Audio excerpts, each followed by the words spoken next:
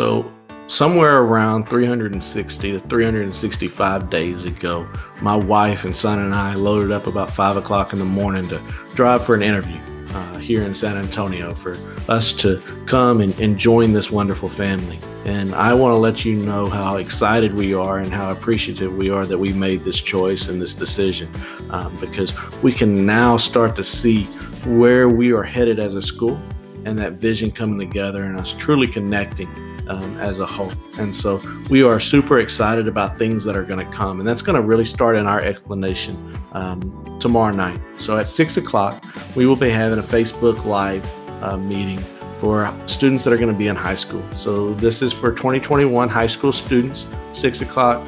Go to um, the actual Anne Frank Facebook page. Um, and we'll have it linked there um, and we'll go live and uh, we'll answer the questions about what that structure is going to look like and uh, dual credit courses and when kids are going to get out of school and, and different things along those lines. So, all your questions will be answered tomorrow night during that Facebook Live meeting. And we'll record it.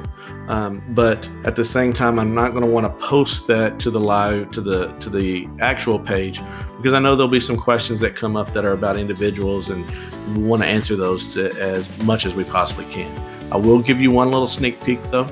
Um, as you know, um, our music teacher uh, for the last couple of years is retiring, and we hate to see her go.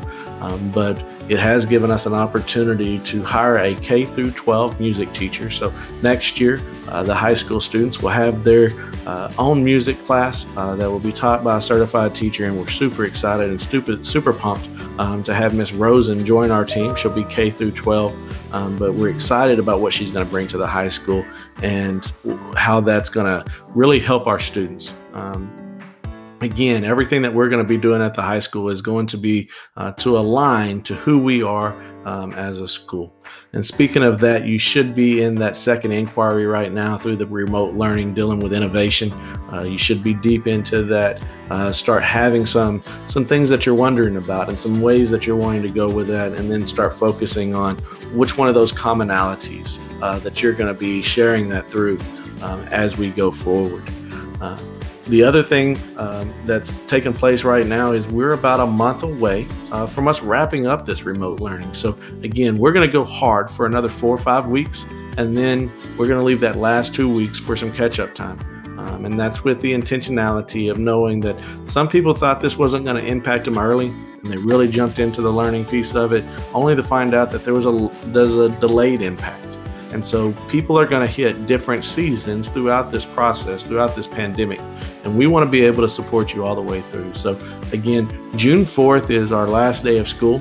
May 22nd is going to be when we wrap up um, the initial steps of learning. Have that two week period for everybody to finish on time. And then anybody that doesn't finish on time, we'll roll into the summer and we'll keep this process going and continue to support you until we can make sure that 100% of our students are successful um, during this time. So um, I know that there's not a lot of new information. In fact, there's only thing happening right now at the school um, is Miss Payne and myself are, are there uh, conducting business, and then uh, our custodians are there cleaning, and our cafeteria workers are there providing food. But with no students there, there's, there's just not a whole lot of announcements to make. Uh, do want to thank the people that came out and helped today, pass out materials again.